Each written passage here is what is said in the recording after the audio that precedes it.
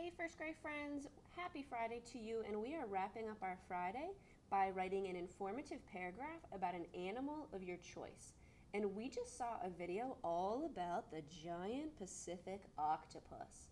So if you want to write about the giant Pacific octopus, then you would have heard lots of facts that you can use to teach your reader about it. So you'll notice that I drew a realistic picture first. I drew my giant Pacific octopus. One of the things I learned is that it changes color of it, the color of its body to blend into its surroundings. So I made it kind of like this sandy color. And then I also want to teach my reader that it likes to eat a lot of food, like crabs. So I drew my crabs. Then I went ahead and I started writing my topic sentence, that first sentence that tells my reader what I'm going to teach them about. And I wrote, I will teach you all about the giant Pacific octopus. Now, if you're not teaching about the giant Pacific octopus and you're teaching about dogs, then you would say, I will teach you all about dogs. Or if you know all about rabbits, I will teach you all about rabbits. It's up to you. I then started by writing one fact. Remember, you have to have at least two facts here. So here's my first teaching sentence. One fact is that they must eat lots of food to survive. But now I want to tell them another fact with another teaching sentence, telling them that they like to eat crabs. So I'm going to write another fact is that they like to eat crabs.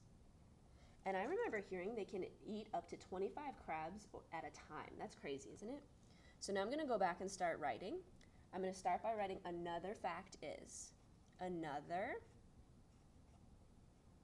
Notice my uppercase A because I started a new sentence. I know it's a new sentence because I had a period right before it.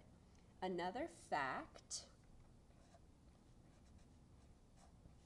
is that they like to eat crabs. That. That. That. What digraph has given me that th sound, friends? It makes your teeth kind of tickle, or your tongue tickle. If you said th, you are absolutely correct.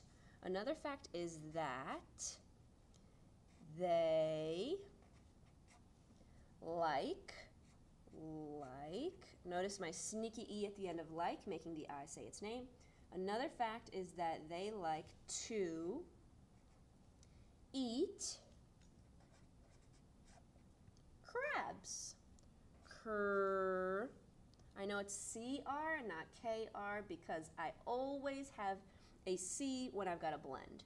Crab. Crab. Crabs. Suffix S at the end. Another fact is that they like to eat crabs. So I'm done teaching my two facts. Of course, you could go ahead and teach more. Like I could teach my reader they have blue blood, right? That's gross. They have three hearts. They have over 2,000 suction cups. I tried to add the little suction cups on it. Um, all over their tentacles, each of their eight tentacles. It's really up to you. You can keep going and have a field day. Just keep writing facts. But I'm going to close out my paragraph with a closing sentence. That's our kind of like our end of a narrative. Our closing sentence tells our reader, we're done teaching you. That's it. Now you know all about the giant Pacific octopus. Giant Pacific octopus. Period at the end of my sentence. Now I've got a completed paragraph and I can read the whole thing. I will teach you all about the giant Pacific octopus. One fact is that they must eat lots of food to survive. Another fact is that they like to eat crabs. Now you know all about the giant Pacific octopus. So now, friends, it's your turn to decide which animal you want to teach us about, whether that's the giant Pacific octopus, or cats, or dogs, or snakes, or birds, whichever animal you'd like and make sure that you include teaching sentences that tell us some facts.